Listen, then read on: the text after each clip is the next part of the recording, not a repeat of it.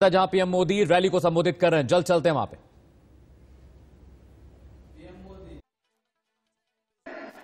পাচ্ছেন পতাকা তুলে যা- জানান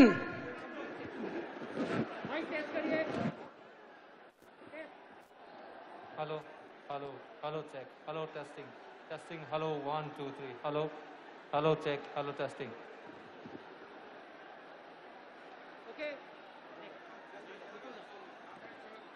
এইবার আপনাদের সামনে বক্তব্য রাখতে আসছেন আমাদের রাজনৈতিক চাণক্য এই রাজ্যের শ্রী মুকুল রায়। জোরে হাততালি দিয়ে মুকুলদাকে স্বাগত জানাবেন।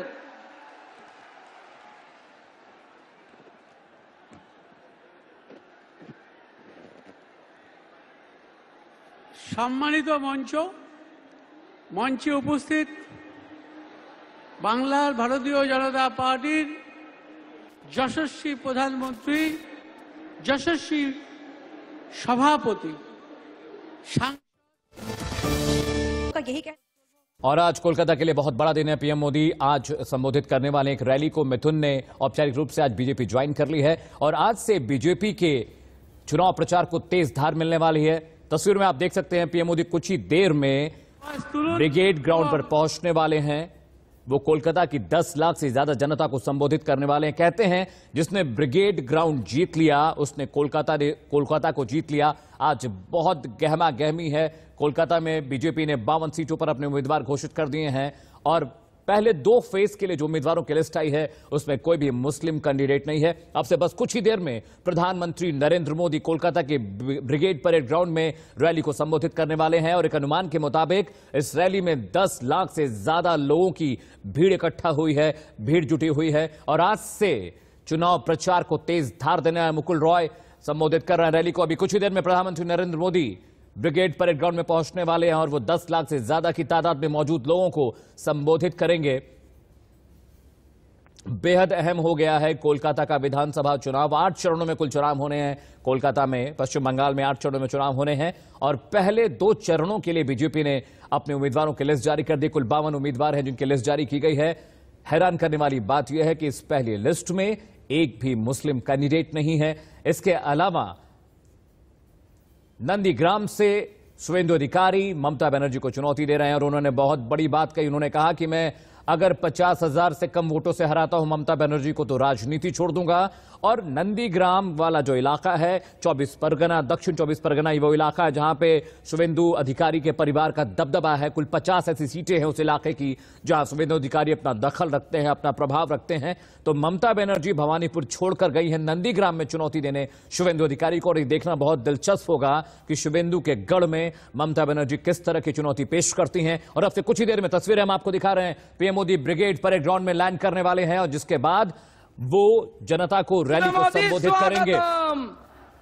आज की बड़ी खबर यह भी है कि मिथुन चक्रवर्ती ने औपचारिक रूप से बीजेपी का दामन थाम लिया। हालाँकि यह कयास लगाए जा रहे थे कि इस रैली में आज सौरभ गांगुली भी दिखाई देंगे लेकिन अभी तक सौरभ गांगुली के आने की उपस्थित रहने की बीजेपी ज्वाइन करने की कोई खबर नहीं आई है। मिथुन चक्रवर्ती से कुछ दिन पहले मोहन भागवत उनके मुंबई स्थित घर पे मिले थे और उसी वक्त से ये खबरें उड़नी शुरू हो गई थी कि मुमकिन है। संभव है कि मिथुन चक्रवर्ती बीजेपी का दामन थामे और अब से बस कुछ ही क्षण में प्रधानमंत्री Narendra Modi brigade parade ground में पहुँचने वाले और कुछ ही देर में वो संबोधित करने वाले हैं जनता की। तस्वीरें आप देख सकते हैं कितना बड़ा जन सैलाब उमड़ा है प्रधानमंत्री नरेंद्र मोदी को सुनने के लिए और मंच पर बीजेपी के दिग्गज नेता मौजूद हैं कैलाश विजय वर्गीय मुकुल इसके अलावा मिथुन चक्रवर्ती भी वहाँ पे मौजूद हैं और आज की रैली से पीएम मोदी एक बहुत बड़ा संदेश देने वाले हैं। कहते हैं ब्रिगेड परेड ग्राउंड तमाम ऐतिहासिक घटनाओं का गवाह रहा है। अंग्रेज़ों ने इस इसे बनाया था अपने मार्च के लिए अपनी परेड के लिए लेकिन तमा, तमाम सालों से उन्नीस की अगर क्रांति की बात करें तो ब्रिगेड परेड ग्राउंड उसका भी गवाह रहा है। तो आज ये बात बहुत मौजूद है कि जिसने ब्रिगेड परेड ग्राउंड में भीड़ जुटा ली उसने कोलकाता के दिल पर कब्जा कर लिया। एक बड़ी मशहूर कहावत है कलकत्ता के बारे में। What Kolkata thinks today India thinks tomorrow. तो ये चरित्र और चेहरा पश्चिम बंगाल की राजनीति का है जिसे हमें और आपको समझने की ज़रूरत है। बीजेपी ने 200 प्लस सीटों का मिशन रखा है पश्चिम बंगाल कोलकाता के लिए। और बीजेपी लगातार कैंपेनिंग कर रही है काम कर रही है। और उन्होंने कहा कि दो मई ममता गई दो मई को चुनावी नतीजे घोषित किए जाएँगे पश्चिम बंगाल की। दो सौ चौरानवे विधानसभा सीटों के लिए बीजेपी ने पूरी ताकत लगा दी है पूरा दमखम लगा दिया और तमाम बड़े चेहरों को बीजेपी में शामिल किया गया है। करीब शुभेंदु अधिकारी समेत करीब बीस ऐसे नेता है जिन्होंने टीएमसी का दामन छोड़ दिया है और वो बीजेपी के साथ है। इसके अलावा वो तमाम बड़े नेता जिनको टीएमसी ने टिकट नहीं। दिया उन्होंने भी बीजेपी का रुख किया है। पीएम मोदी के स्वागत की पूरी तैयारियाँ हो चुकी हैं। बस अब से कुछ क्षण में पीएम मोदी मंच को संबोधित करेंगे। दस लाख से ज़्यादा का हजूम जनसलाब प्रधानमंत्री नरेंद्र मोदी को सुनने के लिए वहाँ इकट्ठा हुआ है। दो हज़ार তৃণমূল যাচ্ছে বিজেপি আসছে তৃণমূল যাচ্ছে বিজেপি আসছে তৃণমূল যাচ্ছে বিজেপি আসছে সবাই বলুন और लगातार ग्राउंड में कहा जा रहा है कि मोदी, तृणमूल जा रही है और मोदी, बीजेपी आ रही है मोदी, उन्नीस में आपातकाल के खिलाफ पहली मोदी, आवाज मोदी, इसी ब्रिगेड मोदी, परेड ग्राउंड में उठी थी मोदी, बोफोर्ट घोटाले के खिलाफ मोदी, जो हमारे पूर्व प्रधानमंत्री थे मोदी, वीपी सिंह ने मोदी, पहली रैली की थी मोदी, जिसका बहुत बड़ा खामियाजा भारत कांग्रेस को वो कितना बड़ा प्लासी युद्ध से लेकर तमाम बड़े युद्ध का गवाह रहा है ब्रिगेड परेड ग्राउंड। और अब से कुछ क्षण में प्रधानमंत्री नरेंद्र मोदी जनता को रैली को संबोधित करने वाले हैं। और आज का दिन खास इसलिए भी है क्योंकि मिथुन चक्रवर्ती ने बीजेपी का दामन थामा है और कई और बड़े नेता हैं जो जल्द बीजेपी में औपचारिक रूप से शामिल हो सकते हैं। ये ब्रिगेड परेड ग्राउंड की लाइव तस्वीर हम आपको दिखा रहे हैं अपनी टीवी स्क्रीन पर। तस्वीरों में आप देख सकते हैं कितना भारी हुजूम वहाँ पे उमड़ा है प्रधानमंत्री नरेंद्र मोदी को।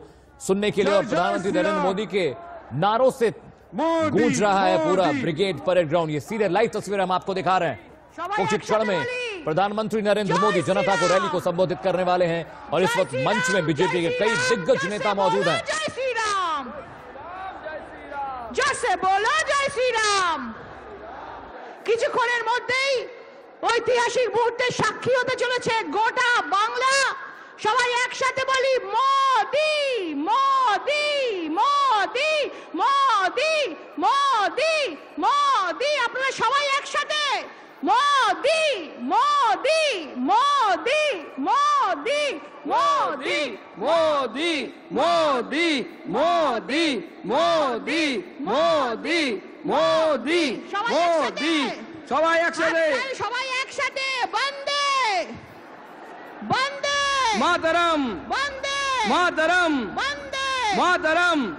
और पीएम मोदी का हेलीकॉप्टर लैंड कर चुका है। ब्रिगेड परेड ग्राउंड के ठीक बार कुछ क्षण में पीएम मोदी 10 लाख से ज़्यादा के हुजूम को संबोधित करने वाले हैं। और आज कोलकाता के लिए बड़ा दिन है। प्रधानमंत्री नरेंद्र मोदी आज बहुत बड़ी रैली को संबोधित कर रहे हैं। एक अनुमान के मुताबिक ब्रिगेड परेड ग्राउंड में 10 लाख से ज़्यादा लोग मौजूद हैं जो प्रधानमंत्री नरेंद्र मोदी को सुनने को आतुर हैं और प्रधानमंत्री नरेंद्र मोदी का संबोधन बस अब से कुछ देर में, कुछ क्षण में होने वाला है। प्रधानमंत्री Narendra Modi brigade parade ground पहुँच चुके हैं और कुछ क्षण में वो रैली को संबोधित करने वाले हैं। बीजेपी ने पहले दो फ़ेज़ के लिए अपने कैंडिडेट का ऐलान कर दिया है। और बड़ी खबर यह है कि ममता बनर्जी नंदीग्राम से चुनाव लड़ेंगी और सीधी चुनौती शुभेंदु अधिकारी को दी। शुभेंदु अधिकारी ने औपचारिक रूप से बात कही कि अगर उन्होंने पचास हज़ार से कम वोटों से हराया तो राजनीति छोड़ देंगे। और तस्वीरें लगातार, लाइव तस्वीरें हम आपको दिखा रहे ब्रिगेड परेड ग्राउंड से देखिए किस तरह से मोदी के जयकारे लग रहे हैं। लोग जय घोष कर रहे हैं नरेंद्र मोदी, पीएम नरेंद्र मोदी के नाम का। उनके नाम के नारे गूंज रहे हैं, लोग उत्साहित हैं। लोग प्रधानमंत्री नरेंद्र मोदी को सुनने के लिए तमाम जिलों से आए हैं। और ऐसा कहते हैं कि जिसने ब्रिगेड परेड ग्राउंड को जीत लिया, उसने कोलकाता का दिल जीत लिया। ये सीधी तस्वीरें हम आपको ब्रिगेड परेड ग्राउंड से दिखा रहे हैं, जहाँ कुछ क्षण में प्रधानमंत्री नरेंद्र मोदी रैली को संबोधित करने वाले हैं।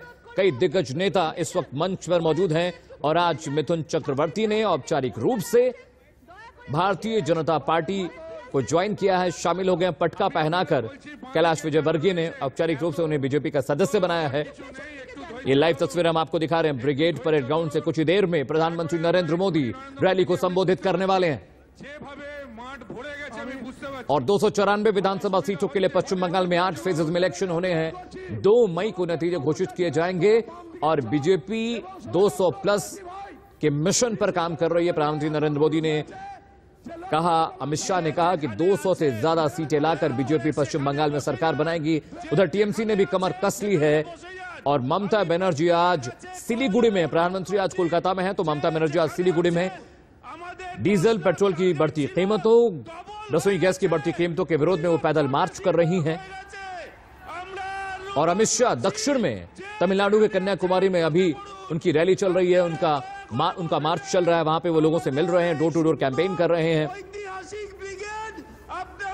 और ब्रिगेड परेड ग्राउंड में जनसैलाब आप देख सकते हैं, लाखों लोग वहाँ मौजूद हैं। एक अनुमान के मुताबिक 10 लाख से ज़्यादा की तादाद में लोग प्रधानमंत्री नरेंद्र मोदी को सुनने वाले हैं।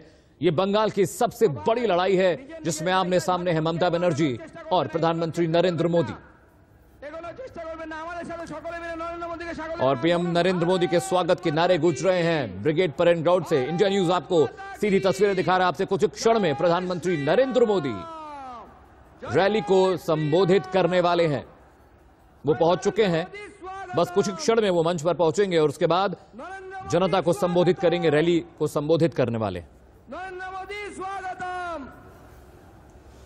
वंदे वंदे वंदे। और वंदे मातरम लोग बोल रहे हैं प्रधानमंत्री नरेंद्र मोदी के स्वागत के लिए जनता तैयार है जन सैलाब तैयार है। हर कोई प्रधानमंत्री को सुनने के लिए आतुर है।